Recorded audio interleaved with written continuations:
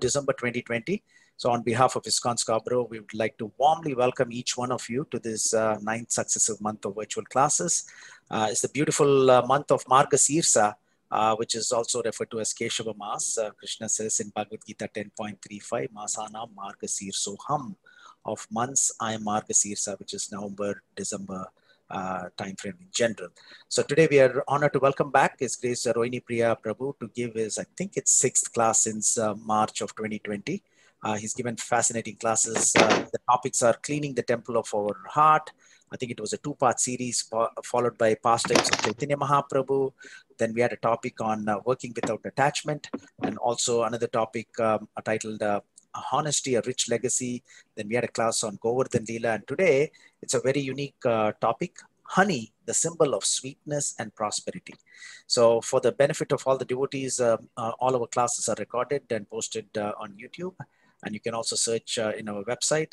Rohini Priya Prabhu graduated uh, with an MBBS degree from India, Bachelor of Medicine and Bachelor of Surgery, but did not pursue his career as a doctor to cure sick patients, but started his lifelong study of Bhakti Yoga after his graduation from the university. And since then, he's been traveling and preaching the essence of the scriptures around the world. So we're grateful to Prabhu. He's uh, currently based out of Seattle. Um, and uh, hopefully he may be able to come to Canada a little later uh, next year, uh, depending on how things work out with regard to travel restrictions. So with that, I would like to invite uh, His Grace Rohini Priya Prabhu to speak us on the topic of honey, the symbol of sweetness and prosperity. Uh, we will extend it till 12.15 because we'll have one hour class. So we'll go on for 15 minutes more than our uh, uh, scheduled close time. And last few minutes, we will take questions. And I kindly urge more devotees to ask questions. Okay, so it doesn't have to be the same person or one or two people asking the question, and that does not have to be the norm.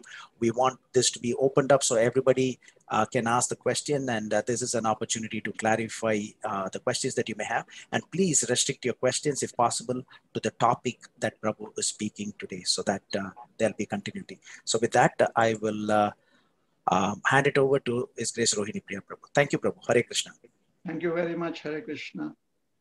ॐ ज्ञानतिमिरान्धस्य ज्ञानाञ्जनशलाकया चक्षुरुन्मिलितं येन तस्मै श्रीगुरवे नमः। श्रीचैतन्यमनोभीष्टं स्थापितं येन भूतले, स्वयं रूप कदा मह्यं ददाति स्वपदान्तिकं। नमो विष्णुपदाय कृष्णप्रेष्ठाय भूतले, श्रीमते भक्तिवेदान्तस्वामिनिति नामिने। नमस्ते सरस्वती देवे गौरवाणी प्रचारिणे, निर्विशेष शून्यवादी पाश्चात्य देश तारिणे। पंचकल्पतरुभ्यश्च कृपा च। पतितानां पावनेभ्यो, वैष्णवेभ्यो नमो नमः। जय श्री कृष्ण चैतन्य प्रभु नित्यानंद श्री अद्वैत गदाधर शिवाशादि गौर भक्त हरे कृष्णा हरे कृष्णा कृष्णा कृष्णा, हरे हरे हरे राम हरे Ram Ram Ram, Hare Hare.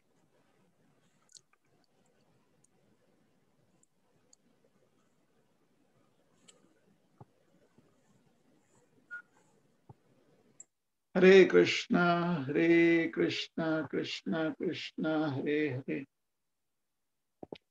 Hare Ram, Hare Ram, Ram Ram, Hare. Hare Krishna, everyone, especially uh, all the devotees from our ISKCON Scarborough um, Yatra uh, congregation. And um, I'm very happy to be uh, able to serve all of you once again. I'm sorry I was a bit late today, and therefore we will be extending the program a little bit today. So I'm extremely sorry. And uh, coming to our topic, um, honey, the uh, symbol of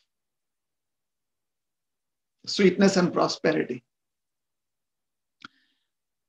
I was uh, recently uh, reading a wonderful purport uh, from the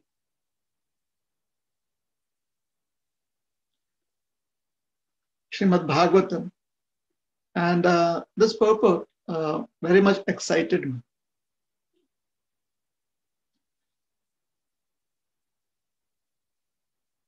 Um, and this purport, this is from the first uh, canto, 11th chapter, verse number 26. Srila Prabhupada, he writes, the essence of every, everything is the Supreme Lord. He is called the Saram.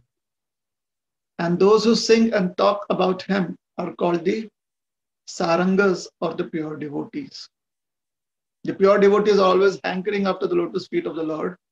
The lotus feet has a kind of honey which is transcendently relished by the devotees. They are like the bees who are always after the honey. Srila Rupa Goswami, the great devotee Acharya of the Gaudiya Vaishnava Sampradaya, has sung a song.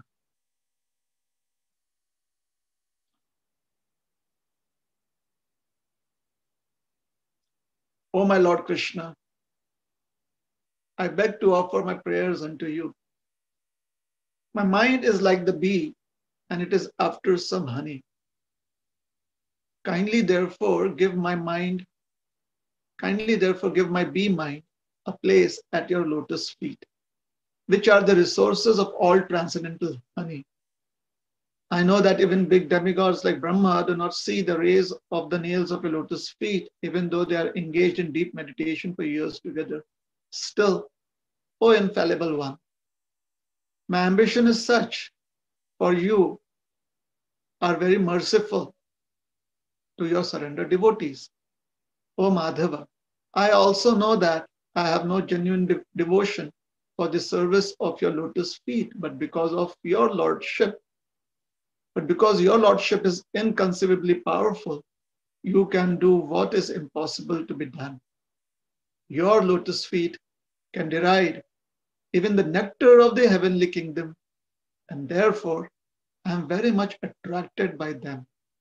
O Supreme Eternal, please therefore let my mind be fixed at your lotus feet so that I may eternally be able to relish the taste of your transcendental service.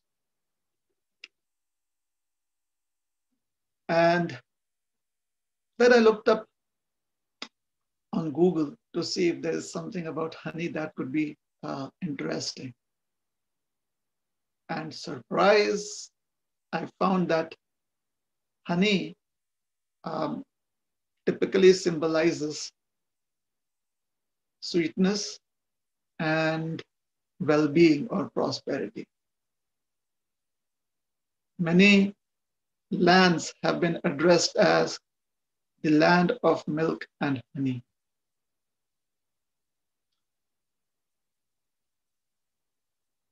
In a Krishna consciousness, we always need inspiration.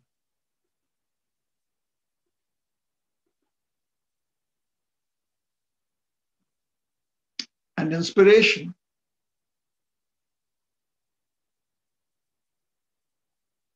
should be such that it gives us some taste. There is some sweetness in the experience, in the experiences that inspire us. There should be some taste in the experiences that we have when we practice spiritual life with great motivation. Many a times, words such as motivation, inspiration are very symbolic of struggle. Determination also is another word that symbolizes or that um, kind of brings to the mind the idea of hardship, harshness, struggle. One must be determined uh, to do such and such. So it's there is the idea that one has to struggle, one has to fight, one has to be brave. So uh, this um, is all right. Definitely, uh, as humans, as conscious, conscious beings, we have to work and work hard because time gives us one opportunity. And if we use that opportunity, uh, then uh, we receive uh, receive the results. And if the opportunity is lost, then it is gone forever. That is how time is in this material world. So, as rational humans or thoughtful human beings, we need to do that. We need to uh, be focused. We need to be able to use our time and energy uh, to one's utmost benefit.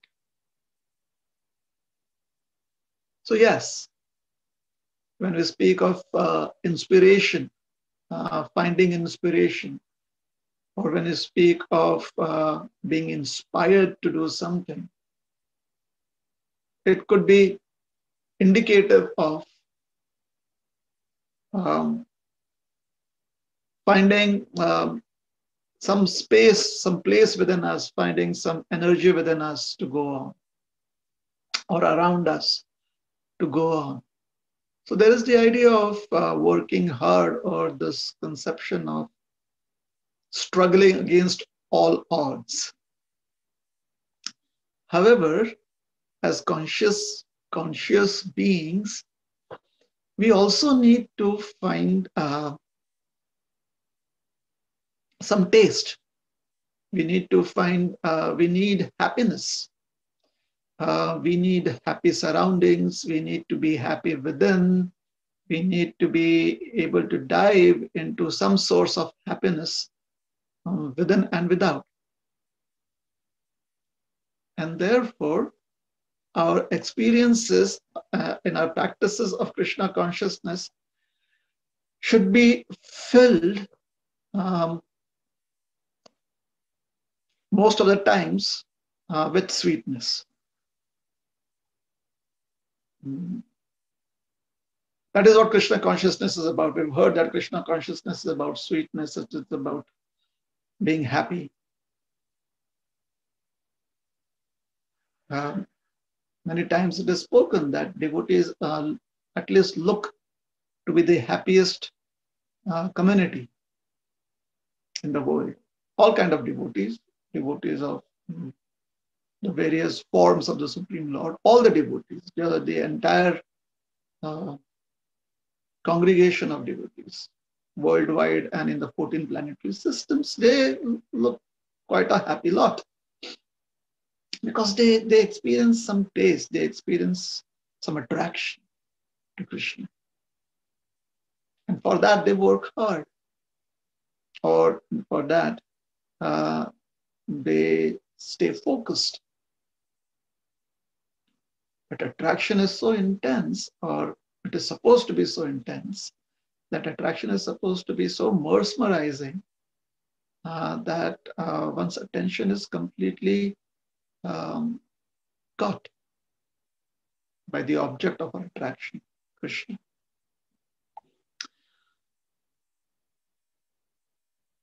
In another place, in the uh, when uh, Shukdev Maharaj is speaking uh, to Parikshit, to King Parikshit,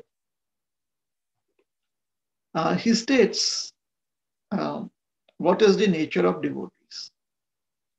His uh, Shukdev Goswami says, the devotees of the Lord are accustomed to licking up the honey available from the lotus feet of the Lord. What is the use of topics which simply waste one's valuable life? अथवस्य पदाम्भोज मकरन्दलिहां सतां किमन्यैरसदालापै Ayusho yadasad So Makaranda liham satam. Makaranda is a Sanskrit word for honey. So Makaranda liham means tasting the nectar of the honey. Satam, Satam are the devotees of the Lord. So the topics of the Lord and the topics uh, which uh, glorify the various aspects of service to the Lord whether it is in terms of the Lord's beauty, whether it describes the Lord's holy, uh, uh, the holy dham, the Lord's holy abode, uh, whether it describes the activities of the devotees of the Lord, uh, whether there are descriptions of the Lord's paraphernalia, the paraphernalia, the Lord's associates, whichever it may be. These topics uh, attract the attention of the devotees because they uh, they feel that it is it is nectarian. They feel that it is uh, sweet like honey. Uh, these topics are, are so uh, wonderful that having tasted it, one gets stuck onto such nectarian topics. Once these topics are very sticky. If, if one comes in contact with the topics of Krishna consciousness, uh, then uh, we find that we are uh, stuck onto it. Just as you know,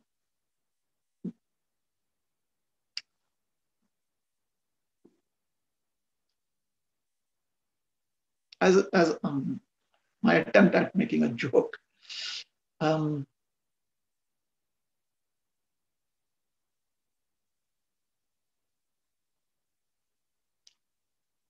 someone asked that how is it that bees always have uh, sticky hair?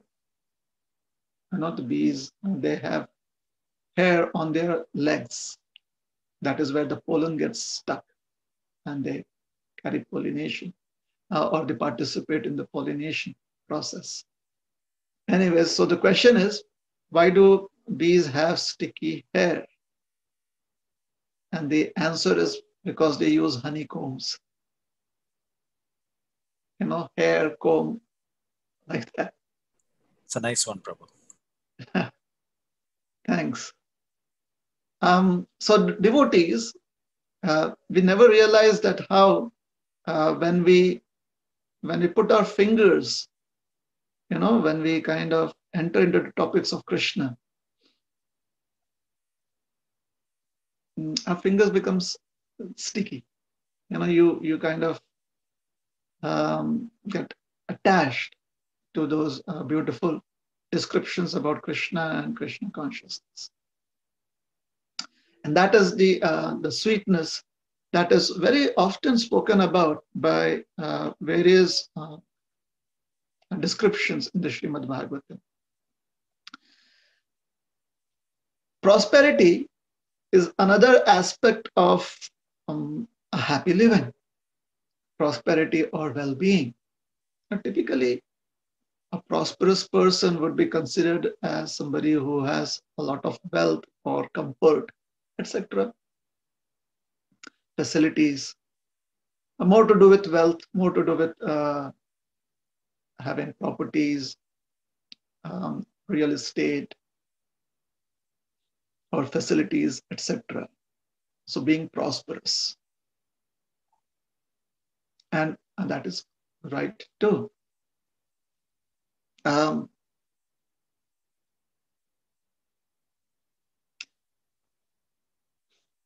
what another question um, uh, and there is a kind of a pun intended here it is also um, kind of a joke another question asked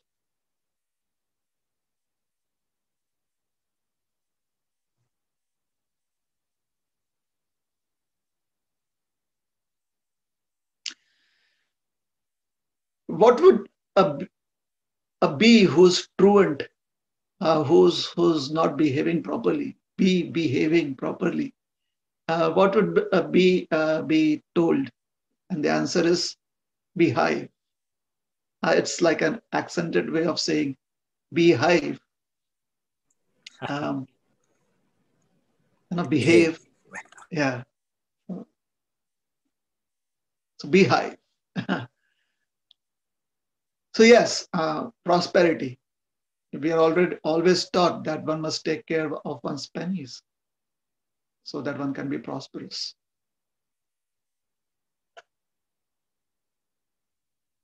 Um, similarly, in our Krishna consciousness, we have to uh, understand that uh, when we practice, uh, when we do our practices of Krishna consciousness, when we are uh, sincere in our sadhana, in our daily practices, then that uh, helps us uh, be behaved, that helps us be properly situated and focused and oriented in our human form of life. And by uh, when when we uh, when uh, when such a behavior naturally dawns upon us when it naturally grows within us such such a such an attitude of sincerity and practices discipline uh, then it uh, it reveals a kind of prosperity that is unimaginable in this material world. Uh, in the Srimad Bhagavatam, uh, there is uh, the teachings that Yamaraj or the instructions that Yamaraj is giving to his servants, Yamadutas, it is about how to distinguish between those who are well behaved and who may not be well behaved. It is not just the externals, but it is um, uh, to do with how their what their consciousnesses, what their intents are uh, between um, well-behaved and truant people, the difference. And uh, Yamaraji says that devotees who always lick the honey from the lotus feet of Lord Krishna do not care at all for material activities which are performed under the three modes of material nature and which bring only misery. Indeed, devotees never give up the lotus feet of Krishna to return to material activities. Others, however, who are addicted to Vedic rituals because they have neglected the service of the lotus feet of the Lord and are enchanted by lusty desires, sometimes perform acts of atonement. Nevertheless, being incompletely purified, they return to sinful activities again and again. So Yamaraji is uh,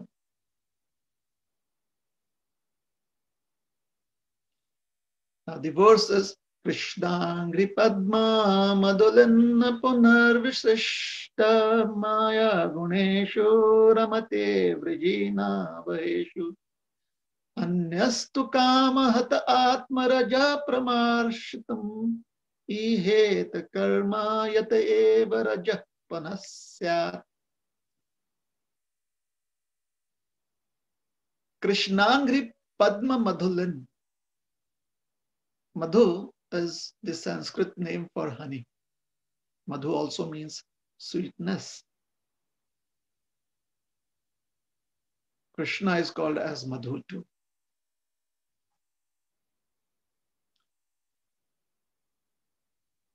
Madhupati. One of Krishna's names is Madhupati or Madhu. So this is from the sixth canto, chapter 3, verse number 33. This description. Within this uh, message, Yamaraji is pointing out to the fact that people sometimes, or many at times, may be repentant. They may feel unhappy with the way they have performed and they, they may want to repent and reform. However, if that repentance is simply out of a desire to be materially prosperous, or if it is out of fear of getting retribution if the uh, repentance is just to reassure or be reassured about our future, then the consciousness is incompletely purified. Then there are greater chances that one may go back to activities that pollute our consciousness, which are called as sinful activities. And the reason is that one is attached to that which is not Krishna. Even if we perform pious activities which are unrelated to Krishna, for example, pious activities without acceptance of the Supreme Lord, pious activities just believing that karma is all powerful and therefore if I add good now, I will have a better future. And for this purpose, if I have to accept the Supreme Lord, all right. So if there is less compliance or not proper compliance with the acceptance of the reality of Krishna, then uh, such pious activities, which are referred to as here in this verse, uh, is calling them as Vedic rituals.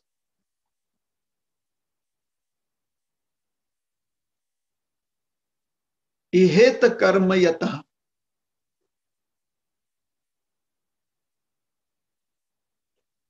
Activities or um, ordained activities would not give us the ultimately the ultimate desired desired result. You may get some kind of desired result but not the ultimate desired result. So what is the right consciousness in which uh, such activities could be performed? The right consciousness is only available if one tastes sweetness just as one finds sweetness and various objects in this material world, one similarly finds sweetness in all the activities of our uh, spiritual practices. We can begin with a couple, one or two, like we may like kirtan, or we may like reading, or we may like uh, serving, shingar, you know, various uh, women like to do various kinds of decorations for the pleasure of the Supreme Lord. Then uh,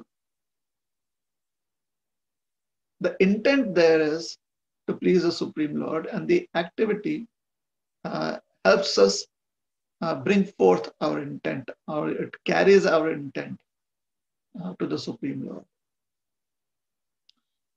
So uh, Yamaraji, he says that uh, this consciousness or this attraction is um, found within the devotees because they lick the honey from the lotus feet of Lord Krishna.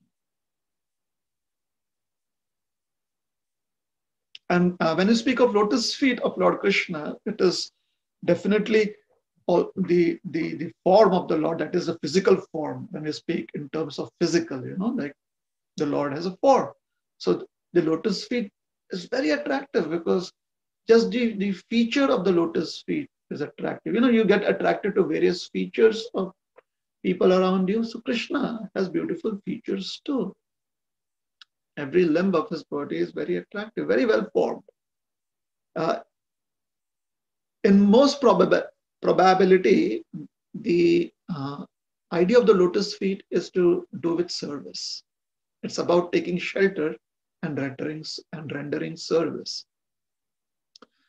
So when service is done, just because we are attracted to that service, knowing very well that this is uh, being performed for the pleasure of Krishna, for the pleasure of Sri Sri Radha and Krishna,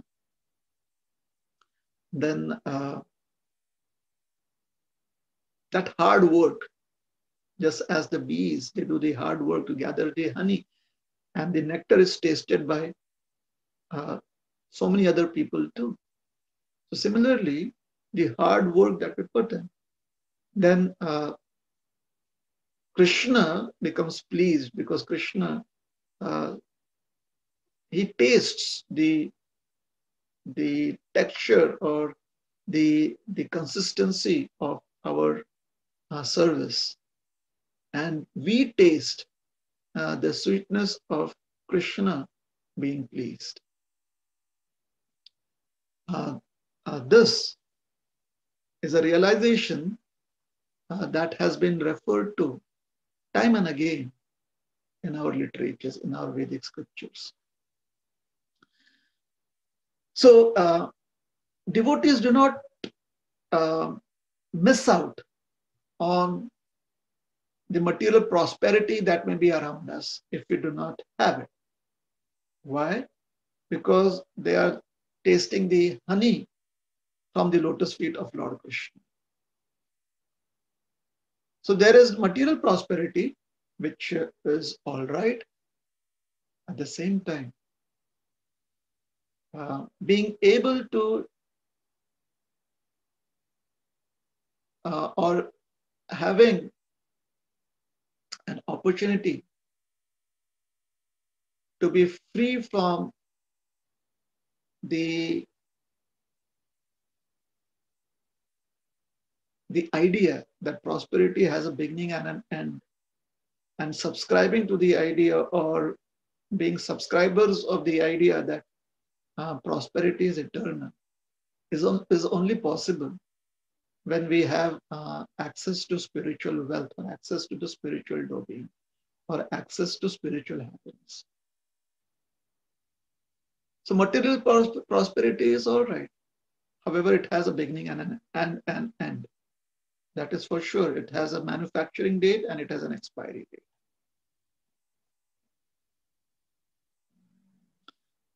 Uh, the experience of tasting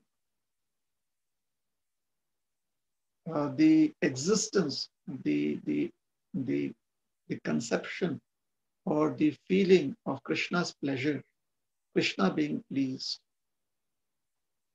is eternal. And that is what uh, makes Krishna consciousness attractive.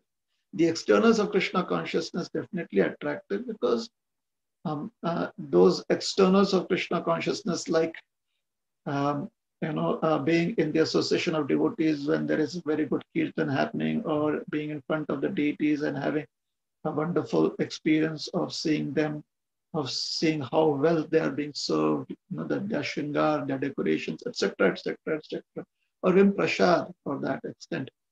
Uh, when we when I say externals, what I mean is that um, the experience is coming through uh, material ingredients.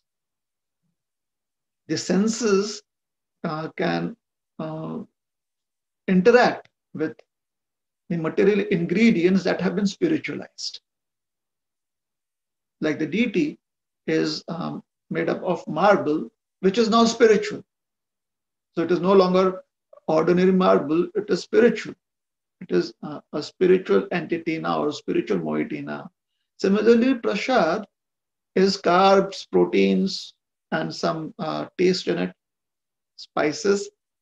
Uh, however, it is spiritualized now because Krishna has accepted that uh, food, that cooked food.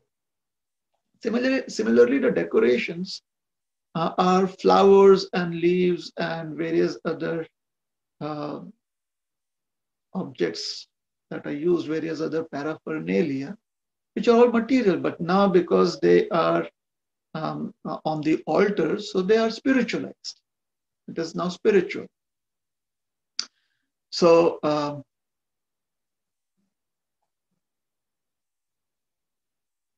through these um, uh, through these experiences, through such means, uh, one can access or one should be able to access, one should try one's mm, utmost to access that which is coming through uh, these uh, elements of material creation.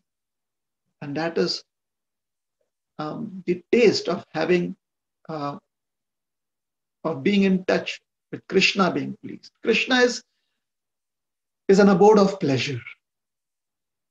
And when we contact that abode of pleasure, uh, the, the abode of uh, sweetness, when we contact that, when we touch that, when we are able to access that, then we when we access, then we access something that is eternal. So we use our material senses uh, to facilitate uh, that experience. We use this material body. We use uh, the books, which are actually uh, words. You know, they're just script in the material form, uh, which we call scriptures. Uh, we all these are spiritualized objects now, which help facilitate us achieve that experience which is eternal, which is never lost. So that experience, that eternal experience will never be destroyed by time. Time can never touch it.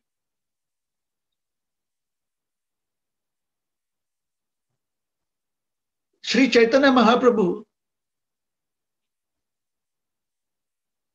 uh, is the Supreme Lord Krishna.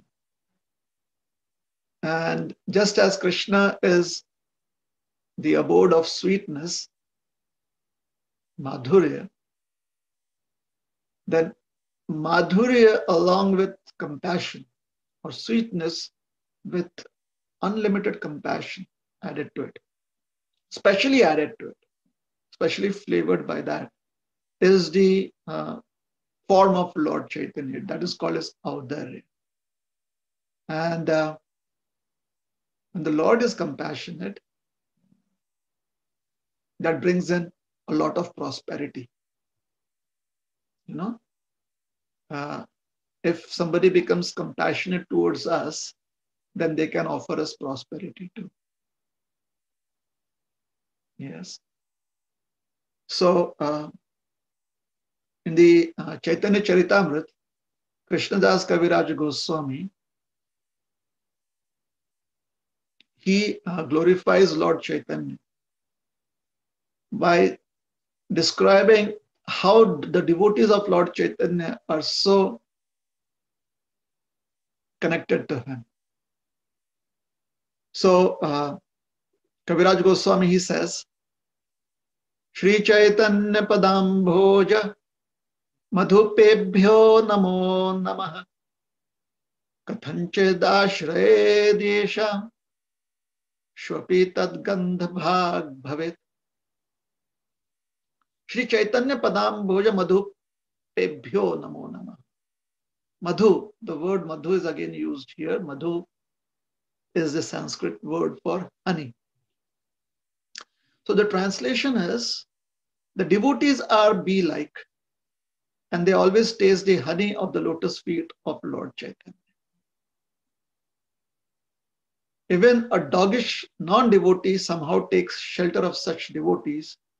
He or she enjoys the aroma of that beautiful lotus flower that has the honey in it.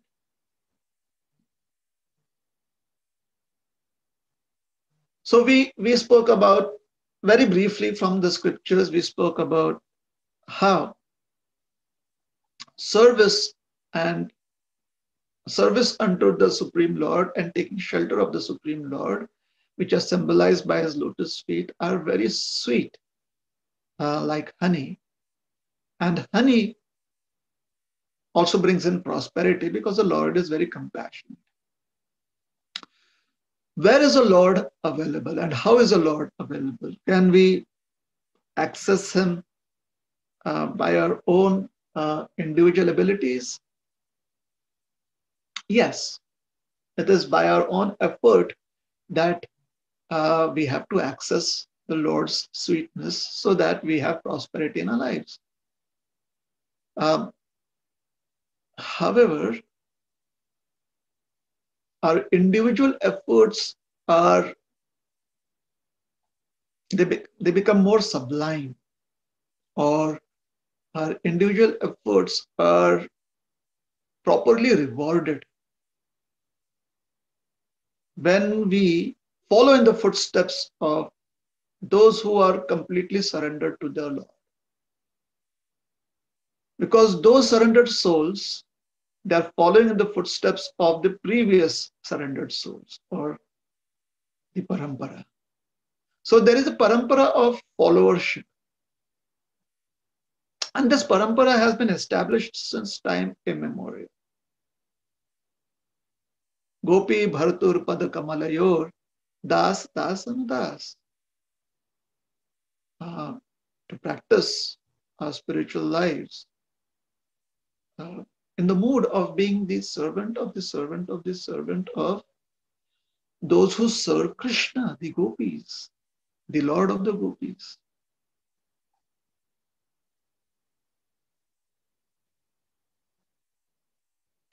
So, uh, typically, when the scriptures, the ancient scriptures, especially the Vedic scriptures, refer to a dog, they refer to this uh, aspect of a dog, this mentality of a dog. There are uh, various ways that a dog has, uh, the dog's qualities have been glorified in the scriptures too. And there are certain aspects of a dog's mentality that has been shown to be detrimental. So here, the, the idea that a dog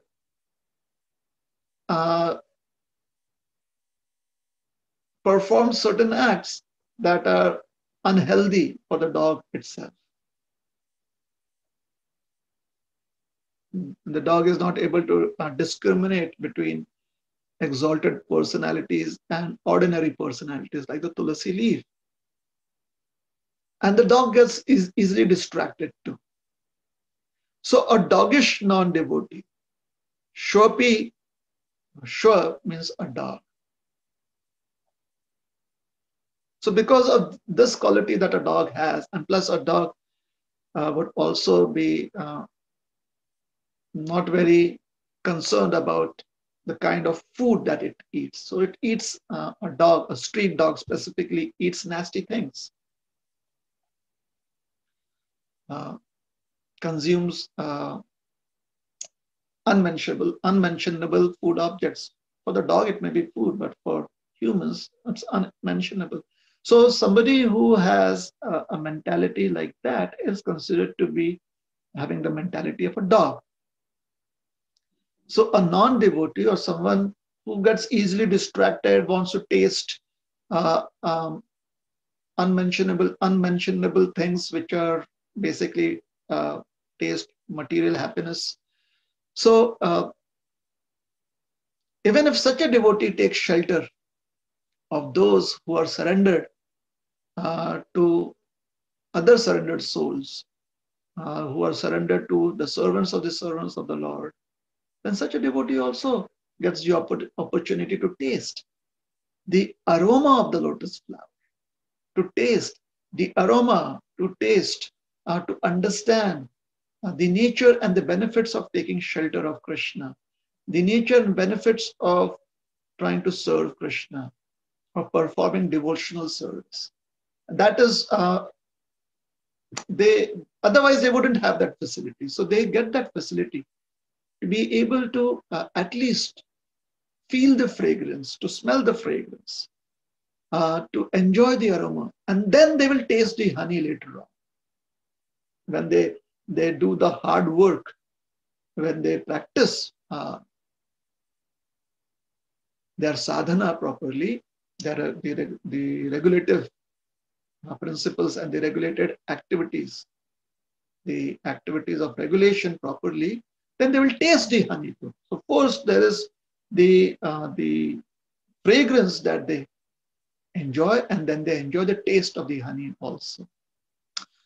So Lord Chaitanya specifically uh, uh, glorious uh, in this age of Kali Yuga. Because this, in this age of Kali Yuga, there is the need uh, to receive a lot of compassion. Life is uh, really uh, very challenging in Kali Yuga because our intentions are so very skewed in Kali Yuga uh, that uh, we are a danger to ourselves more than anyone else. We hurt ourselves by polluting our consciousness time and again. So we need a lot of compassion. We need um, you know, a lot of mercy compared to the other ages, in comparison to the other ages.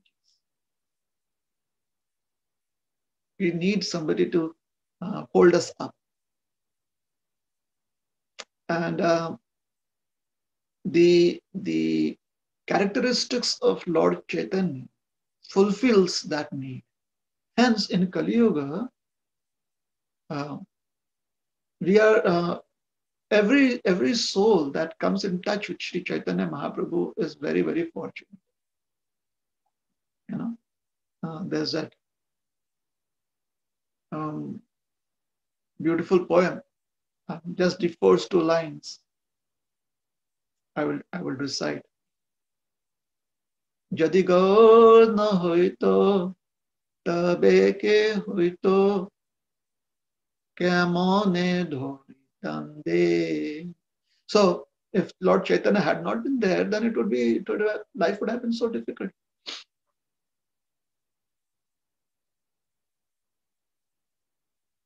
So we are very fortunate to have Lord Chaitanya. He is uh, that extra large uh, reservoir of honey that can give us sweetness and prosperity. Now, having found such uh, devotees who constantly are tasting the nectar of uh, Lord Chaitanya's uh, lotus feet and uh, because of the association of such devotees, we also enjoy the aroma of the lotus flower that has that honey, uh, which, which makes us also want to uh, behave and be like and be like bees, to taste that honey, to gather that honey. Mm. So it is natural to feel gratitude uh, towards uh, such association of devotees. Specifically, those uh, who go the extra mile. They're called as the Siksha uh, gurus, those who teach us. They go that extra mile. Uh, they are very sincere in their own practices. They are very, very focused to um, uh, be advancing in the Krishna consciousness. And uh, they also uh, show us the guiding light. And for such uh, wonderful association, a natural prayer uh, arises from the heart, just as Thakur Bhaktivinoda has written a prayer uh, in his book of uh, prayers, the Prarthana.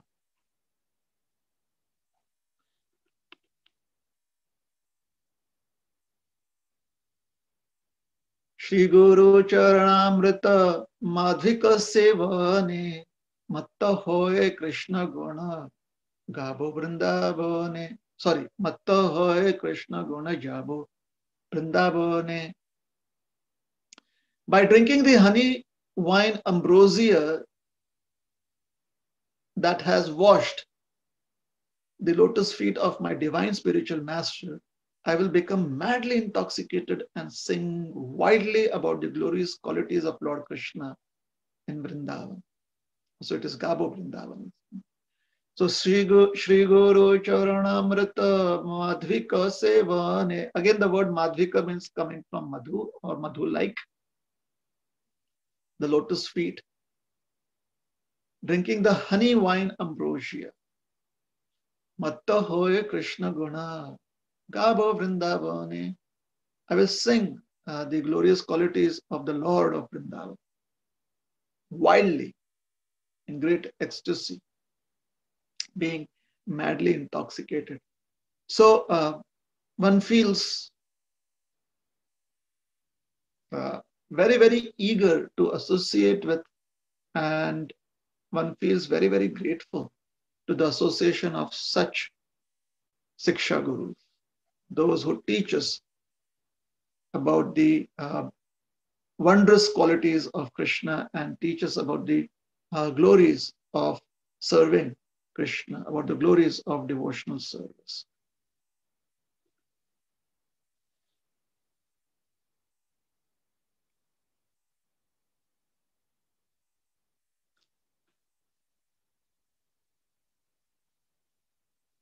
And what happens uh, when, what is the uh, natural conclusion of uh, such a journey of finding honey and tasting honey? What is the natural uh, conclusion of that? So Bhaktivinoda Thakur, in his uh, Hari Bhakti Kalpalatika, which is a beautiful collection of his realizations in the form of uh, poems, in the form of a book, Hari Bhakti Kalpalatika. He says, Tena smaranti vishayan च कर्म तेन स्मरन्ति पुरुषार्थचतुष्टयं च तेन स्मरन्ति सुतदारगृहात्मदेहां ये कृष्णपादकमले मधुपानमत्ताः Those who are engaged in drinking the lotus from the honey from the lotus feet of Sri Krishna do not think about their family, children, husbands, wives, homes, or their own bodies, material objects, fruitive activities, or the four goals of life dharma, artha, kama, and moksha.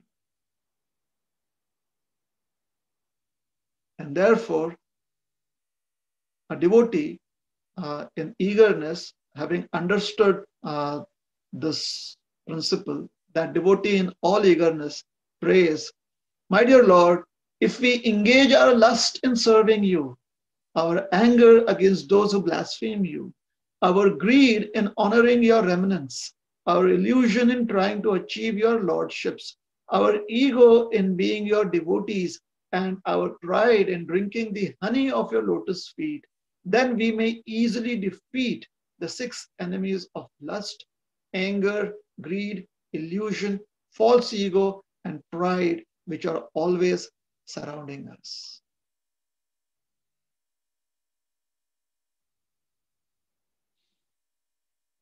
So Thakur Bhakti Vinod uh, is beautifully giving us a goal that is achievable by our own practices in Krishna consciousness.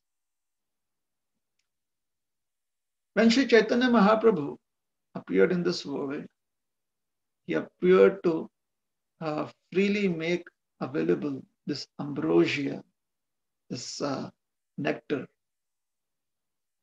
of Krishna Bhakti, of devotional service unto Krishna. And he came with so many associates and so many wonderful devotees who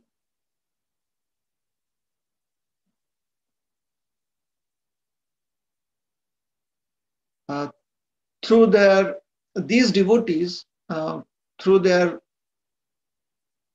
relationship that they had with Lord Chaitanya and through the love and uh, service attitude that they exhibited towards Lord Chaitanya,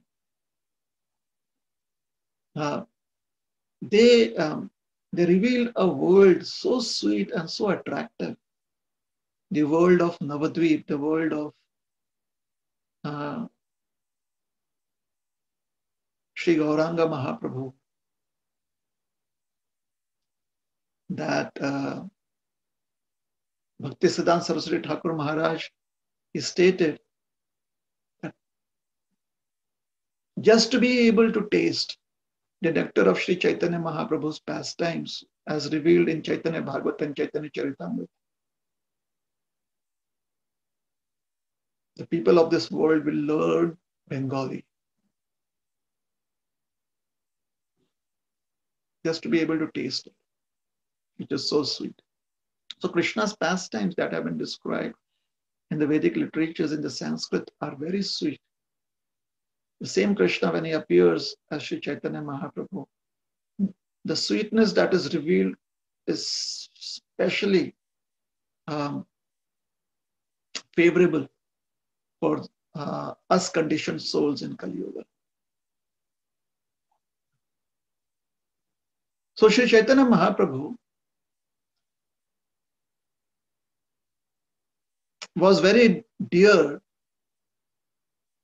to the devotees from Sri Khanda. And in Chaitanya Bhagavat, uh, all the residents of Sri Khanda, which is a, uh, a small town, um, which was a small town uh, when Lord Chaitanya was performing his pastimes. Uh, Sri Khanda was specific, the entire, entire town was Krishna conscious. They were they were always chanting the names of Gauranga and Nityananda Prabhus. Lord Chaitanya and Lord uh, Nityananda. There was one specific devotee uh, about whom I would like to speak very briefly in the, the next five to 10 minutes. Um, he was an associate of Lord Chaitanya he had come to Navadvip uh, as a young man to study there. And he would uh, always uh, perform wonderful kirtan, specifically uh, his dance uh, in his dancing in kirtan was very attractive to Lord Chaitanya. There were very few devotees uh, that would be uh, able to glorify Lord Chaitanya as a supreme personality of God. Lord Chaitanya um, would always exhibit the mood of a devotee of Lord Krishna, and therefore, uh, whenever he would hear glorifications about himself, specifically when uh, he would hear devotees glorify him as a supreme lord, he would uh, cover up his ears with his two hands. Both his ears he would cover up with his hands and call out loudly, Vishnu, Vishnu, Vishnu. He, would, he wouldn't uh, want to hear his own glories as a supreme lord uh, during such uh, times. And he would always say that the living entities never can never be uh, the Supreme Lord, can never be equal to the Supreme Lord. This was his mood as a devotee of the Lord. Narhari Sarkar, the devotee that we would like to talk about today, was one of the few devotees that could glorify Lord Chaitanya, and Lord Chaitanya would hear his glorifications. He could glorify Lord Chaitanya in front of him. That was the sweet relationship that Narhari Sarkar had with Chaitanya Mahaprabhu. And Narhari Sarkar was a resident of Sri Khand. Lord Chaitanya said that his, his uh, very life and himself uh, he had dedicated to the residents of Sri Khanda. He was their property and uh, they could do as they wish with him. So he really loved the residents of Sri Khanda. Uh, Narhari uh, Sarkar uh, was the son of a very great uh, devotee of Lord Krishna. And he was one of three uh, siblings. And uh, his other siblings were also uh, followers of Lord Chaitanya. Uh, one of them was the famous Mukunda Sarkar, uh, who had a son, Raghunandan Thakur, and uh, Chaitanya Charitamrita and Chaitanya Bhagwat uh, describe the glories of these devotees, these two devotees, Mukunda Sarkar and his son Raghunandan Thakur. Madhava Das, who was uh, a great, uh, very good uh, kirtaniya, singer also, uh, was one of the uh, brothers of Narhari. So Narhari, uh, Mukunda, and uh, Madhava were three brothers. They lived in Sri Khandadham. And every year they would, uh, after Lord Chaitanya had taken uh, sannyas, every year uh, they would, uh, along with the other residents of Sri Khanda like Sulochan and others, they would go to Jagannath Puri and participate in the Rath Yatra celebrations there. And um, Lord Chaitanya would have seven parties of uh, kirtaniyas, uh, people, who, um, devotees who would sing, dance, play the mridanga, kartals. He would have seven parties of such devotees uh, perform for the pleasure of Lord Jagannath. And in one of those parties, Narhari uh, Sarkar, along with his nephew, Raghunandan, who was very dear to him, very, very dear to him, would be the main dancers. Lord Chaitanya would love to see both of them dance. He would be uh, lost in uh, happiness seeing both of them dance. Uh, when Narhari Sarkar was uh, at, an, uh, at, a, at, a, slightly advanced age, he was uh, residing um, in Sri Khanda.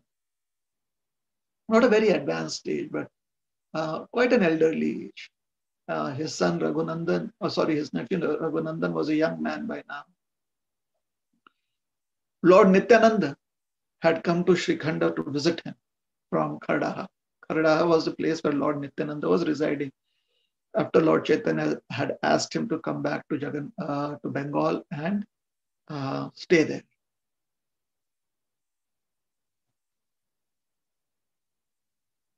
So Lord Nityananda came. And uh, there are uh, descriptions that Lord Nityananda had invoked the presence of Lord Gauranga to come. So both Gaur and Nitai were there. And uh, Narhari could see both of them. So uh, he was very, very happy to have them come to his house. He invited them, he gave them a nice place to sit, and he worshipped them, he offered them wonderful prasad. And both Gaur and Nitai were uh, very happy to reciprocate with him. And Narhari was so happy to see both of them in, the, in his house.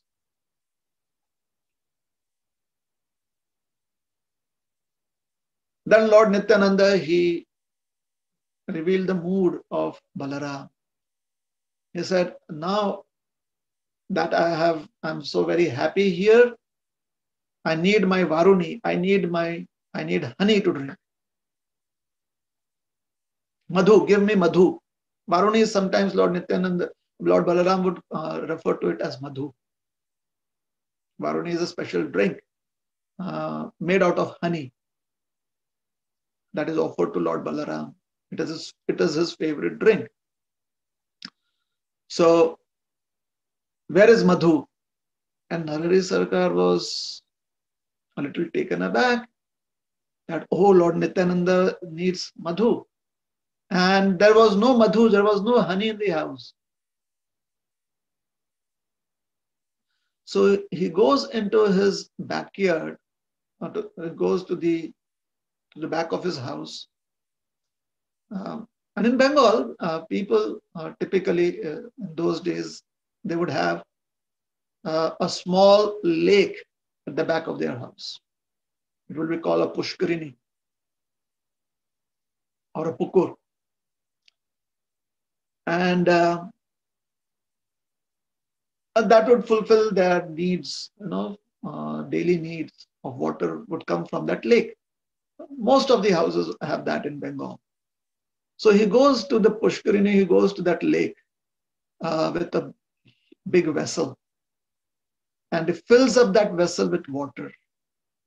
And he's in this mood of a resident of Vrindavan. As soon as Balaramji asks for honey, he comes, he, he's in this mood of a resident of Vrindavan. So he goes to his to this lake at the back of his house and fills up a pot with water and he brings it back. And he offers it to Lord Nityananda and also to Lord Gauranga. And as he pours this uh, liquid uh, from that vessel directly into Lord Nityananda's mouth, because he's in the, in the mood of the resident of Vrindavan now. So Lord Nityananda has his hands cupped like this, and he's pouring it into it, and he's directly drinking it. It is actually honey. It is actually madhu. And Lord Nityananda was so happy to have received honey. He starts dancing in ecstasy. And Narhari Sarkar starts dancing. Lord Gauranga is very happy, and Lord Gauranga also dances with them for a long time. Even today, if we go to Shrikhanda Dham and if you go to the house of Raghunandan Thakur, the brothers would still be staying together. Then at the back of the house is the Pushkarini, is that Pukur, is that lake. Until today, it is called as the Madhu Pushkarini. And uh, in the Gaura-ganoddesha Dipika, it has been revealed that Narhari Sarkar is uh, one of the residents of Vrindavan, one of the gopis, whose name is Madhumati. And her service is to bring honey to Radha and Krishna. And in uh, Lord Chaitanya's pastimes, Narhari Sarkar uh, offered honey uh, from a lake of water by his intense devotion and by his miraculous potency, by the blessings of Lord Balaram, by the, by the grace of Lord Chaitanya, he offered honey, a madhu, to Lord Nityananda and blessed him. Narari Sarkar has been also uh, mentioned by Bhaktivinoda Thakur in his beautiful uh, Gaura Arti. Nara Adi Kari Chamara Dulai. Narari Sarkar is offering chamara, the whisk made of yak, yak tail, to Lord Gauranga as he sits on a beautiful jeweled throne receiving worship. Um, this in this month of Margashirsha on the uh, Ekadashi day of the uh, dark fortnight, dark moon fortnight, the Krishna Paksha. Narari Sarkar disappeared uh, from this mortal world and Raghunandan Thakur had such a wonderful celebration. And in that celebration, uh, Narari Sarkar appeared again to bless him because Raghunandan was feeling so much separation uh, from Narahari Sarkar. Uh, he was not just his uncle, but also uh, his spiritual master. And uh, even today, uh, we find in the house of Raghunandan the, the Samadhi of Narahari Sarkar there. The beautiful uh, pastimes of Chaitanya Mahaprabhu that have been revealed in the book called as Chaitanya Mangal was written by a great devotee of Lord Chaitanya uh, by the name of Lochan Das Thakur. And Lochan Das Thakur is uh, the prominent disciple of Narahari Sarkar. So uh, I hope that all the devotees feel happy hearing about the uh, sweet uh, quality of honey, um, the honey of the lotus feet of the Lord, and the prosperity that one achieves uh, taking shelter of Krishna, taking shelter of his lotus feet. And I also hope that uh, uh, we are uh, pleased to hear about uh, Narhari Sarkar, who offered uh, honey uh, from a lake of water to Lord Nityananda uh, to please him to satisfy. So thank you very much. Hare Krishna. I will stop here. Are there any questions or comments or clarifications? Thank you. Uh, Please let me know. Prabhu. Thank you, Prabhu, for uh, another wonderful class. Um, you know, honey, the symbol of sweetness and uh, prosperity. So we understand how sweet uh, is Lord's lotus feet. And that'll be a good uh, segue into next week's uh, session that we are planning to discuss about the different symbols in the lotus feet of Lord Krishna. So it'll be a nice, beautiful uh, uh, passage uh, way into that as well. So thank you, Prabhu, for that. Now, how do we understand or realize whether we are tasting that sweetness uh, you're talking about? Because uh, the question is sometimes we think we have some taste, but it doesn't last long. So that you know it's it's it's temporary. So is is it possible for us to be in that zone all the time for tasting that sweetness of the honey? You know uh, like like when, when sportsmen when they're in the zone you know they are there but you don't you're not in the zone all the time. So is it is it flickering? Is it uh, is it something that we need to work on to increase that uh, connection into that sweetness uh, longer and longer? Thank you for that question. And um, i think it is appropriate for um, wanting to know uh, whether it is possible for us to measure um, our uh, status, to, uh, to know our status in our devotional practices. It is, uh, it is the uh, natural tendency to be able to do that. Um, Krishna consciousness is the natural state of existence of every living entity. It is a normal state of existence of every living entity. So, uh, being embodied in a material body is not the regular existence of the living entity. And therefore, we are troubled by the, uh, the idea of or the inconsistency of a presence, a present existence, and especially uh, the idea of death. Many times uh, uh, people wonder whether death is really as painful as being bitten by you know 43,000 odd scorpions, something like that.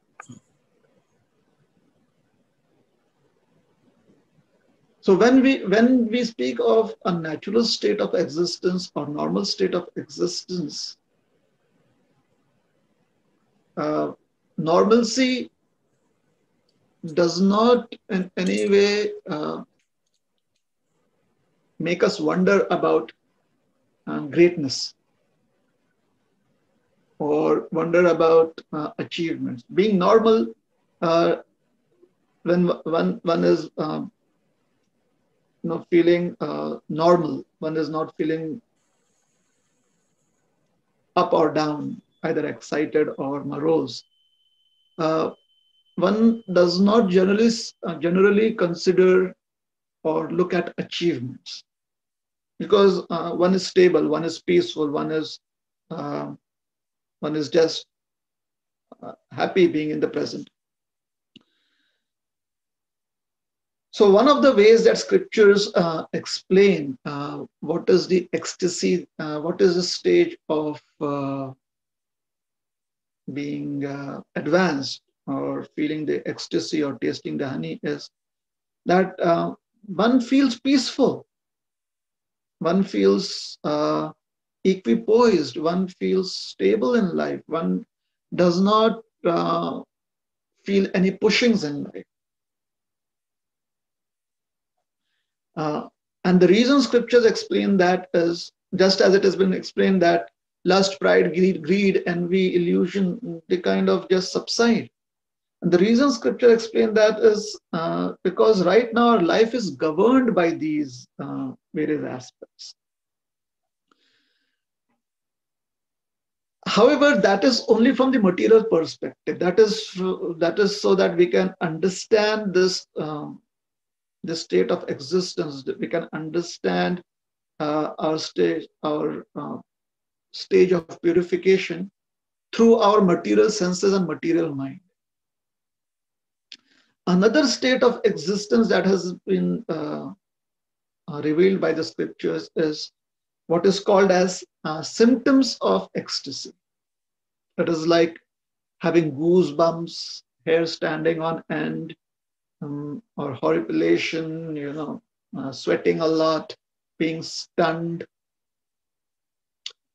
And uh, when we read the Chaitanya Charitamrita, especially the Antya where uh, some of these uh, symptoms have been described being exhibited by Lord Chaitanya, we hear that sometimes he would exhibit the symptoms for three hours, six hours, nine hours at a stretch. We hear of devotees who have been stunned for like practically 72 hours, which is like three days. Like Abhiram Gopal Thakur, he stood in this, um, he also stood in a threefold bending form uh, with the trunk of a tree uh, held in his two arms, uh, as if he's playing a flute for 72 hours. We hear of Vakreshwar, Vakreshwar Pandit dancing for 72 hours without stopping. These descriptions have been given in the scriptures. So forget 72 hours. Let us just think that if we are able to have these experiences for, let's say, 72 minutes, let's say 24 minutes, then uh, from the material perspective, from the way the material mind and material senses measure things, uh, that would be good progress. Uh, what, what are the symptoms that we're looking for? Like we are astounded just by the sound of the holy names, not by the music that's there, just the sound of the holy names. Uh, like uh, Lord Chaitanya, he heard someone sing uh, the Gita Govinda, and he immediately was mesmerized.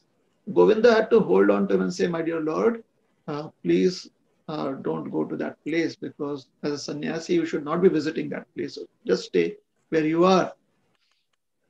So the sound of the holy uh, should astound one melody, uh, which is uh, spiritual melody. Sometimes melody is material, you know, therefore feel like constantly changing stations. Uh, we want different people to be singing different melodies. But there is a spiritual melody, which is called as raga. Uh, for those who, uh, who are trying to be good singers or good musicians, they understand what is raga. Raga is where you're able to kind of hold on to sound for a long time, just at that particular decibel, that, that particular surah. You stay with that for hours together through practice. Uh, so, uh, 24 minutes, an hour, uh, like if not every day, at least every time we are in the middle of such an experience. Another, another uh, symptom is uh, revealed by Parikshit Maharaj. He's telling Sukadev Maharaj that please go on talking about the topics of Krishna because as long as you're talking about the topics of Krishna, uh, my mind is focused and I, uh, I do not need to fear anything. I do not feel the need of hunger or thirst or even sleep. And uh, uh, the residents, uh, the, the sorry, the the uh, the um, the rishis of Naimisharanya are telling Suta Goswami that uh, please go on describing the nectarian topics of Krishna because wherever there is the nectarian topics of Krishna, there is no death. And there, therefore, there is no fear of death. So please, uh, in, in detail, describe uh, the nectarian topic, nectarian topics of Krishna. So uh, hearing, tasting, seeing, these are the activities of the senses. And when the senses are focused, are astounded, um, it's like uh, when we are completely hooked onto uh, one of these activities of the nine limbs of uh, bhakti, Shravanam, Kirtanam, uh, hearing about Krishna, glorifying Krishna, chanting about Krishna, remembering Krishna, any of these activities. Dhruva, uh, the fourth canto, sorry, the, um, the Srimad Bhagavatam uh, describes about Dhruva Maharaj, the seventh canto. Uh, sorry, uh. Prahlad Maharaj, not Dhruva, Prahlad Maharaj, the seventh canto. Uh, he was stunned. Sometimes he would be so stunned, it simply, he would feel the presence of Krishna as a young child. This was even before the appearance of Lord Narasimhadev. Because he, has, uh, he was constantly meditating upon the Lord, Prahlad Maharaj. Somehow he had access to that. Uh, he could feel the presence of Krishna. So, uh, when we have uh, some bodily symptoms like that, the most common, common amongst such bodily symptoms would be tears from our, one's eyes or goosebumps. Being stunned and falling down unconscious may not be, would be uncommon. Uh, when these tears uh, flow uh, such that uh, we want to uh, just be there with Krishna, not, not, not with the melody, not with the decoration, but uh, with Krishna, uh, who is the Supreme Lord. Uh, and when that stays with us for a long time, let's say for half an hour, for one hour, um, and it does not disturb our services. At a very advanced stage, uh, we'll be concerned that you know our emotions are disturbing our services. So let's say um, we don't have any services like shringar, decoration of the deities or cooking for the deities or cleaning the temple or arranging things for the altar at home, etc., etc., etc. But something just uh, just kind of um, holds, makes us uh, completely mesmerized. Now that experience has been described in the scriptures to be an experience of nishtha. Nishtha means firm faith. That is where one starts feeling uh, the presence of Krishna. The anarthas, uh, the, the shortcomings, the, uh, the pollution, the contamination has um, uh, been washed away, uh, almost washed away. Has been uh, like most of the gross and semi-gross uh, contaminations have been washed away. Very subtle contaminations uh, could be remaining. So this uh, kind of firm faith, uh, it is called as nishtha. Uh, the translation is firm faith in English. And the idea of faith could mean holding on to something. it could mean being very defensive about one's existence as Krishna's devotee ready to defend against anything and not being uh, never being disturbed or never being distracted from it. But that is not what uh, nishtha uh, that is not all that nishtha implies. Nishtha also implies being able to hold on being able to be and being able to uh, connect with uh, for a substantial amount of time with krishna to hold on to krishna. So that is also called as nishtha